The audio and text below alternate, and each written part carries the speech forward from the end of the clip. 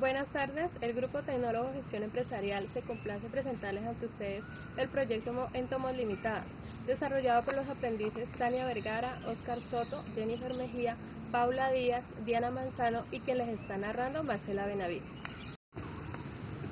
Durante nuestra instancia en el Centro de Biotecnología Industrial Sena Palmira, en el macroproyecto Modelo de Gestión Empresarial para Unidades Productivas con Base Biotecnológica, nosotros hicimos este proyecto de acuerdo a una investigación que realizamos con un margen de confiabilidad 95% y un 5% de error, el cual nos arrojó unos resultados interesantes y vimos una oportunidad amplia en la creación de un laboratorio entomológico, ya que en estos momentos el uso del control biológico ha tomado gran importancia en el sector azucarero y, también en otros cultivos. Nuestro producto es un parasitoide cuyo nombre es Lidia minense. Anteriormente era conocido con el nombre de Metagonistilum minense, el cual es un combatiente a la plaga de la diatrea generada en los cultivos de caña, sorgo, maíz y arroz.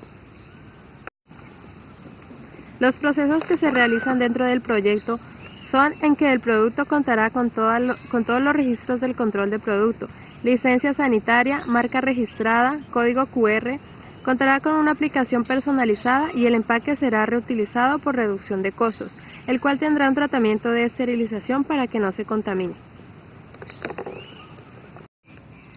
Dentro de nuestro proyecto, anhelamos poder dar una atención personalizada a cada cliente mediante la implementación de estrategias CRM para la gestión de clientes.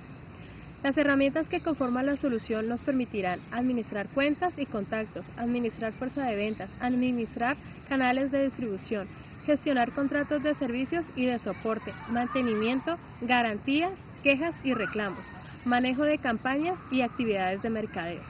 Y termino con esta frase, démosle una oportunidad a la, a la naturaleza, Entomos protegiendo el medio ambiente.